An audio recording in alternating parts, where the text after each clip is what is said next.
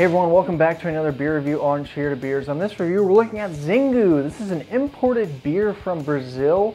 Not sure if it's owned by Anheuser-Busch or anything like that. It still says it's imported. I've never had this beer before. It says it's a black beer, so I'm not sure if it's just going to be like a black lager, a stout, a porter. It's definitely really dark. Let's go ahead and get into it. The smell would lead me to believe that this is actually a black lager, kind of like Guinness's black lager. I'm not getting a ton of roastiness. It's all kind of subtle in there, more of like a chocolate kind of smell. Um, but overall pretty light. No hops really in the smell. Just uh, smells like it's going to be not a stout, not a porter, but just kind of a black lager.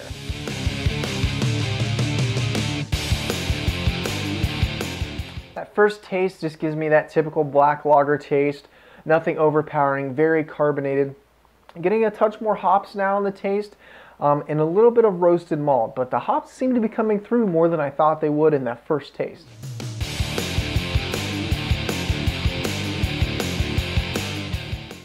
Overall, Xingu is a beer that's hard to pronounce. I'm probably not pronouncing that right at all. And it's not a bad, uh, what I think is a black lager. I'm not sure the exact style. If you know, let me know in the comments. But overall, it's not really too bad. It's really, really drinkable. It's got a decent flavor to it.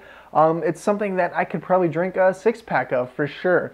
So I'm gonna give Xingu a five and a half out of ten. Um, you know, it's not getting a high rating because you know I rate some stuff high that I get a really good taste out of, a really solid, bold, big taste out of. And this is just, you know, it's middle of the road, but it has enough taste to kind of keep you wanting more.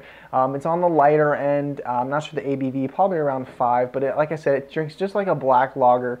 Um, and it's just not too bad. If, you, uh, if you've had this one, let me know in the comments. Let me know what you thought of this beer. Subscribe to my channels for more review. Thumbs up for some black lager or what I think it is. And until next time, cheers.